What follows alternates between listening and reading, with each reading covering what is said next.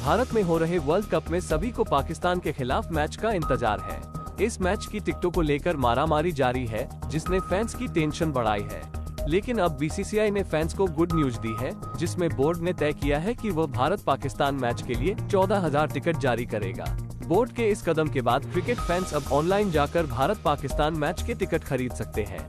बता दें कि दोनों देशों के बीच 14 अक्टूबर को अहमदाबाद के नरेंद्र मोदी स्टेडियम में मुकाबला खेला जाएगा।